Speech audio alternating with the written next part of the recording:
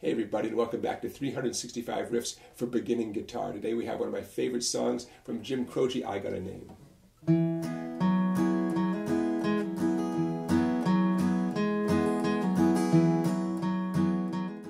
Okay, let's get started with that nice intro. Capo at the 4th fret, C major chord.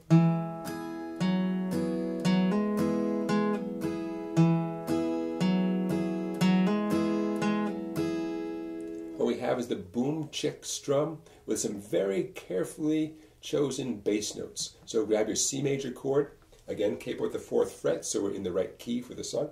Fifth string, and then a light brush on the three treble strings. Temporarily lift off your middle finger so the fourth string is open. Same brush. Now fourth string with a hammer on. I pluck it once, my middle finger hammers down to get a second note. Brush. And now the opposite. I'm going to do a pull off. Fourth string. I lift away this finger to get a second note. And as always, I'm answering back with that brush. Slow motion. Fifth string. Open fourth. Fourth string hammer on. Fourth string pull off.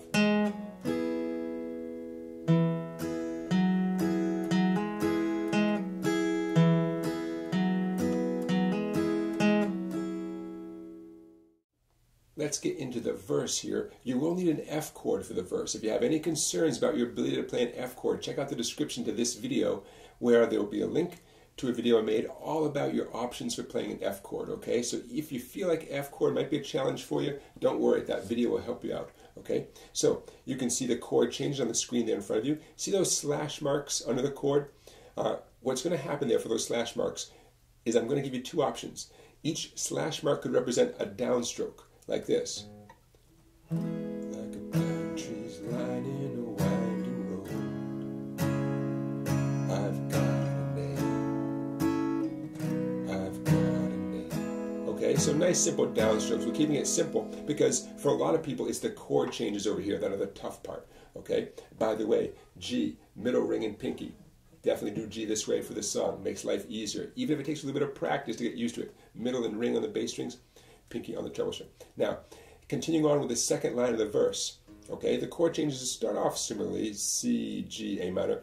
Um, I'm going to introduce another rhythm guitar idea here. For every slash mark, do a boom chick, okay? So on the C, it's going to sound like this. Um, the words are going to be like, uh, uh, like a singing bird. Like a singing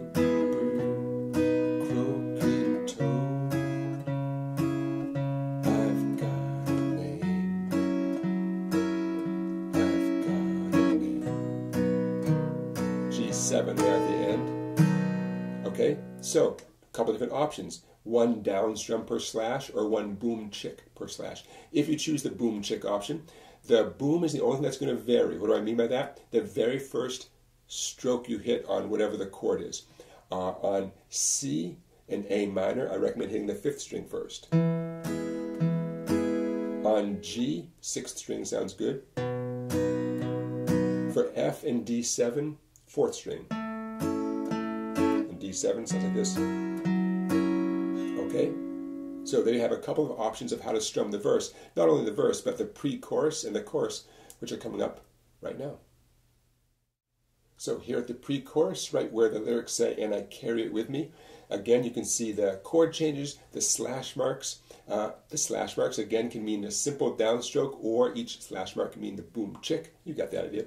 Uh, what I'm going to do here for the pre-chorus, I am going to do the boom chick uh, strumming, since that's the one that might need a little more visual um, display. The simple downstrokes, you get the idea with that. Okay, so here comes the pre-chorus. I'm starting my E minor chord. One, two, here I go. And I carry with me like my daddy did. But I'm living the dream that he kept hid. Two, three, four. there's your pre-chorus. And in the next clip, you're going to have the chorus. Here it comes. And now is a time in the video I often say, thanks everybody, thanks for watching. And uh, don't forget to give this video a thumbs up and don't forget to subscribe to my YouTube channel. Don't forget to check out my website, Songbike. for tons of videos you can't find anywhere else. Okay, uh, the chorus. The chorus is also going to incorporate a nice little, a nice little walk down pattern, which I'll teach you.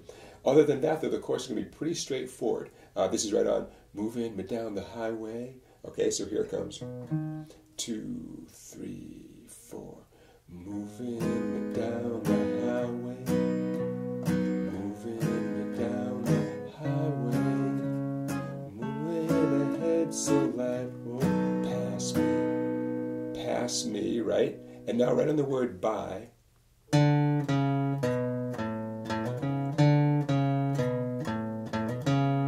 Okay, what's going on there? You can see the tab on the screen. Fifth string, first fret. Fifth string open. Sixth string. Okay, now I made it to the first fret of the sixth string. I'm going to keep my finger there. The next stroke, a hammer on. Okay? Only one pluck, and then the open fifth string. And the whole thing begins again. and that leads nicely into the the C major chord for the next verse. And there you have it. That does it for our song today. Thank you so much for watching, everybody. Don't forget to check out the playlist on my YouTube channel called 365 Riffs for Beginning Guitar. There you will find hundreds, hundreds. At this point, it's just about 300 videos, a lot like this video, that will teach you tons and tons of great songs and techniques on the guitar. So thanks for watching, everybody. Please check out that playlist. I will see you tomorrow.